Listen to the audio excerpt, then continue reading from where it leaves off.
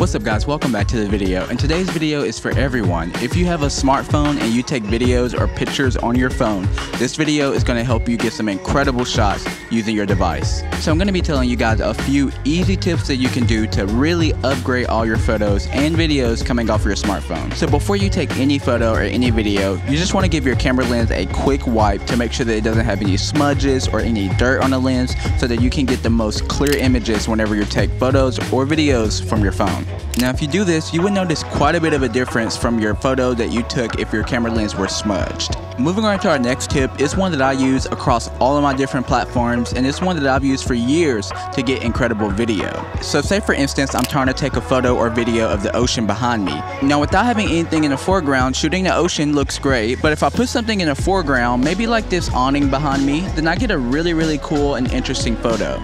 Now you don't always have something accessible like what I have today to be in the foreground of your image. And in those instances, I usually take some type of plant or some type of branch and I put it in the foreground of that video or photo. So moving on to our next one is composition. So for you guys who are photos or video nerds, you already know about the rule of thirds. But for you guys who don't know about this, this is going to help you a lot to get great photos and videos whenever you're taking them on your smartphone. So the rule of third puts two vertical lines on the screen and then two horizontal lines on the screen.